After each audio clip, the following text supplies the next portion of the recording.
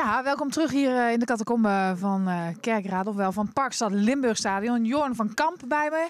Uh, ja, wat een wedstrijd. Gefeliciteerd. Ja, zeker en vast. belangrijke drie punten voor ons. Zeker na het verlies van Sparta eergisteren tegen Heerenveen. En we moesten vandaag gewoon die drie punten pakken. En ik denk dat we daar vooral met dominant voetbal, het eerste half uur iets minder, maar daarna hebben we het in eigen handjes gehouden en met een verdiende 2-1 overwinning. Ja. Dus. Ja, ja 2-1 hè? Ja. ja. Ja, ja. in eigen handjes houden. Je zegt dominant, maar mm, ik vond Excelsior een fase van de wedstrijd toch ook wel dominant. Er waren zeker en vast fases bij waar Excelsior uh, de betere hand was. En ik denk vooral de eerste half uur dat we het moeilijk hadden. En sindsdien begonnen we beter te voetballen. En vanaf na mijn doelpunten hadden we de bovenhand. Dan de tweede helft starten we perfect met een vroeg doelpunt van Shaheen. En uh, dan zakten we een beetje terug en dan begint die druk te komen van Excelsior. Maar we hebben goed stand gehouden en belangrijke drie punten voor ons, dat telt vanavond. Dus. Wij vlagen ook echt heel goed voetbal. Wanneer wist je eigenlijk dat je zou spelen?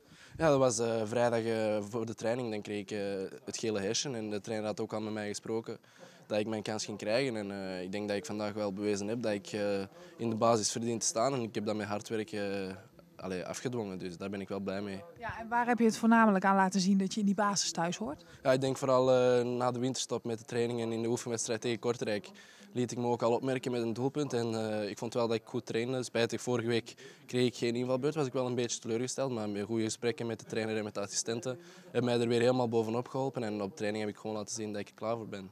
Ja, en dat hebben wij ook kunnen zien uh, vandaag. Je komt uh, op een voorsprong. Maar uiteindelijk wordt het misschien toch nog een beetje gevaarlijk. Jullie hadden ook een kans hoor, op 3-1. Maar ook Excelsior. Hoe gaat het dan in zo'n team? Wat zeg je tegen elkaar? Ja, dan is het proberen om zo, om zo, vroeg, zo rap mogelijk die 3-1 te proberen te maken. Hè. Dan weet je na de goal van komen we samen en dan zitten we er allemaal samen. En dan zeg je tegen elkaar, ja, we have to kill them. En als je dat dan uh, ja, laat liggen, dan wordt het natuurlijk spannend. Hè. Excelsior met een paar mogelijkheden, riskante voorzetten. Elbers die in een uh, leeg doel tegen via de paal nastraft. Dus dat zijn uh, een paar kansen die, waar nu het geluk aan onze zijde ligt. En dat mag je soms ook wel hebben, vind ik. Ja, en dan mag je deze overwinning ook hartstikke vieren natuurlijk. Jullie gaan er langzaam richting carnaval. Gaan jullie uh, nog een dagje vieren? Ja, dat denk ik wel. In België is dat niet zo het, uh, de gewoonte, maar hier heb ik gehoord van wel. En dan ben ik uh, een van de eerste om mee te doen natuurlijk. Ja, oh ja, ja ben je er zo heen? Ik vast. en wat drink je dan? Um, plat water. Ja, heel goed. Het, het is het perfecte antwoord. Hoe ga je verkleed?